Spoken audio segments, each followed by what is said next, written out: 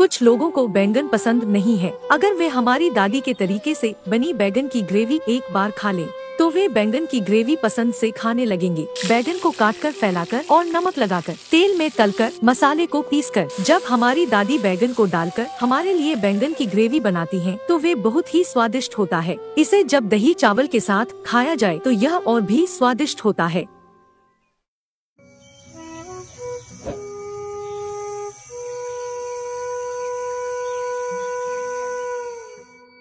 अब देखते हैं, बैगन की ग्रेवी बनाने के लिए ज़रूरी चीज़ें। इसके लिए हमने अपने बगीचे से सवा किलो बैगन तोड़ा है। 50 ग्राम धनिया 10 लाल मिर्च, चार टमाटर, करी पत्ते, एक लहसुन 100 ग्राम छोटे प्याज 100 ग्राम बड़े प्याज, अदरक और एक चम्मच सौंफ। अब सभी आवश्यक मसालों को पीसना शुरू करते हैं। अदरक लहसुन। इन दोनों को सिलबट्टा में डालकर पीसना शुरू कर देंगे। अदरक और लहसुन के साथ सौंफ भी डालकर पीसना शुरू कर देंगे।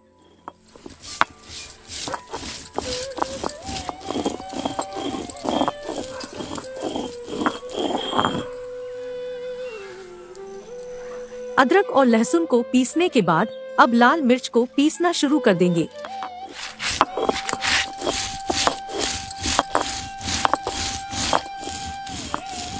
अब इसमें धनिया भी डालकर अच्छे से पीसना शुरू कर देंगे।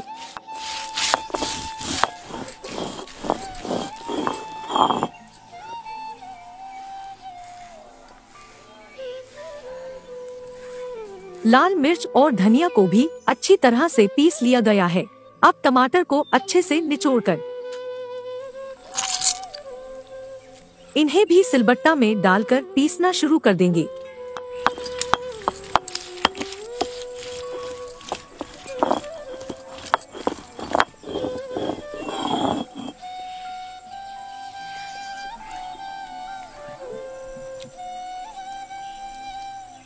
टमाटर को अच्छी तरह से पीसने के बाद अब बड़े प्याज को पीसना शुरू देंगे।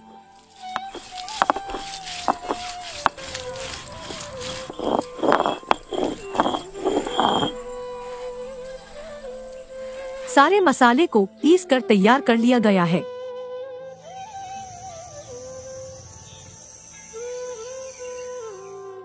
अब बर्तन के गर्म होने के बाद इसमें थोड़ा सा तेल डाल दें।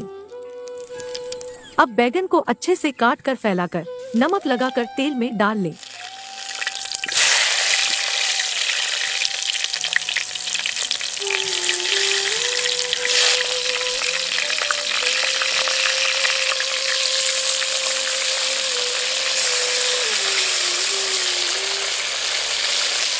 बैंगन को तेल में तल कर अच्छे से पिघलने से पहले निकाल लें।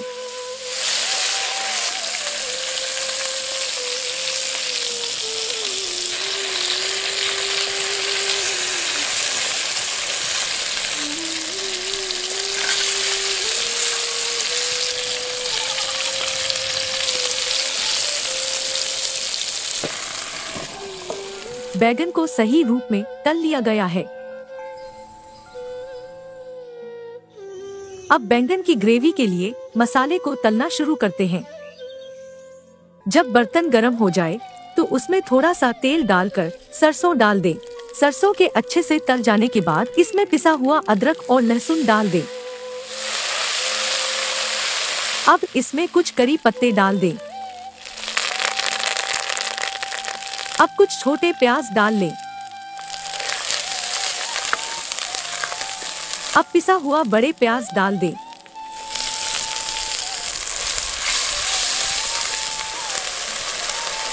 फिर पिसा हुआ टमाटर भी डाल लें। जब टमाटर तल रहे हों तो उसमें पिसी हुई लाल मिर्च और धनिया डाल दें।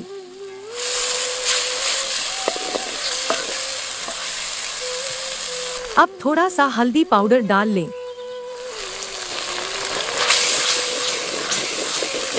जाँच करने के बाद थोड़ा सा नमक भी डाल लें।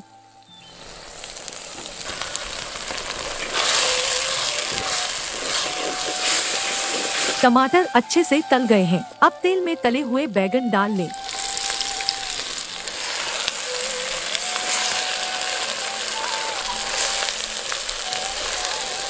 बैगन को मसाले के साथ अच्छी तरह मिलाने के बाद इन्हें चूल्हे से उतार दें। अब बैंगन की ग्रेवी तैयार है। हमारी दादी बैंगन की ग्रेवी को कई तरह से बनाती है। ये भी उन्हीं में से एक है।